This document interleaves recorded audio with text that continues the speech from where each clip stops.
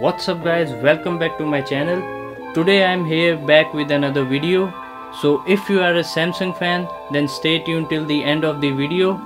As you all know samsung's unpacked event is just around the corner so samsung has launched an official teaser today by the title galaxy note 20 ultra unpacked. So let's have a look at the teaser first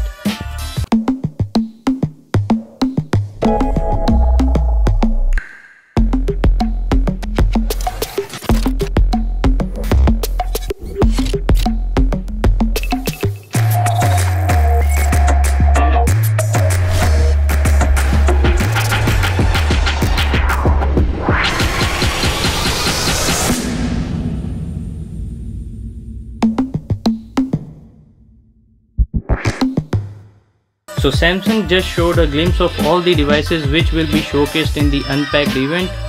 This will be a online only event considering the situation around the world right now. So Samsung will be unveiling Galaxy Note 20 series, the Galaxy Tab S7 and S7 Plus, the Galaxy Z Fold 2, the Galaxy Buds Live and the Galaxy Watch 3.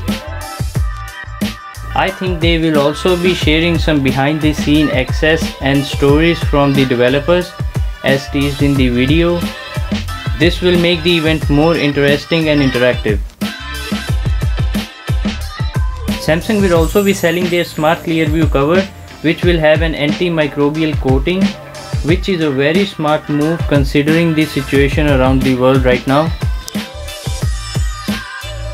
Samsung is also going to launch their Exynos processor for PC. This is a good step forward for Samsung as they will use new Cortex X1 CPU and AMD's GPU which theoretically is a powerhouse and will give a good competition to the Snapdragon processors which are the leading processor in the market right now.